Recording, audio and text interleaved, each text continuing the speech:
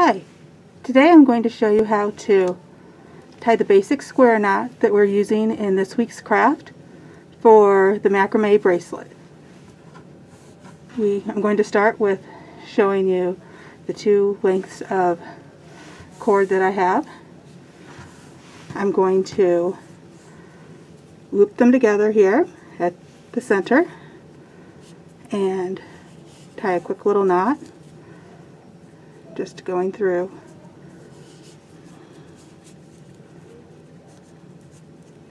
the top just so I can keep them together.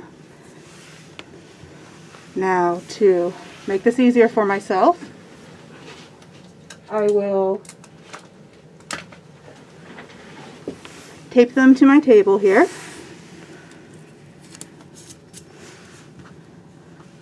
I'm going to move this up a little. This just makes it a little easier for me to um, keep the movements straight. So when we make a square knot, we'll have our two center cords here. Those aren't really involved in the knot itself. So we'll take our left cord and lay it over the top. The right cord will go over the left cord, underneath the two middle cords, underneath that original left cord we pulled over, and through the loop.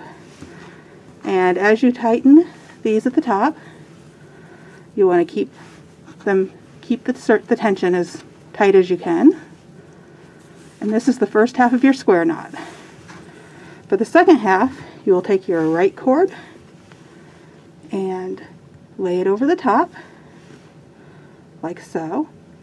Now take your left cord and go over the top of that right cord, underneath the two middle cords, through the loop, and out the top. And again, pull those middle cords tight Keep your tension.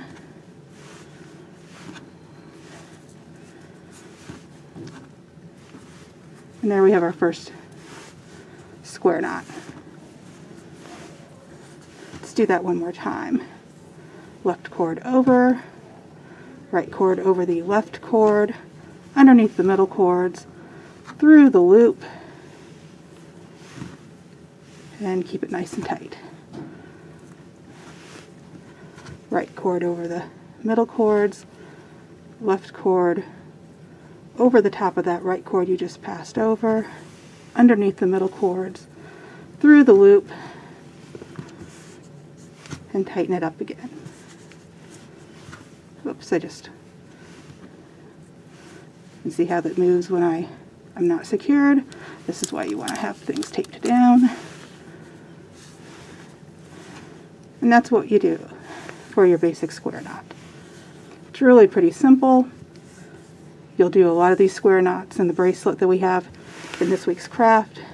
It's really rather meditative once you do a number of them in a row. Um, have fun and enjoy.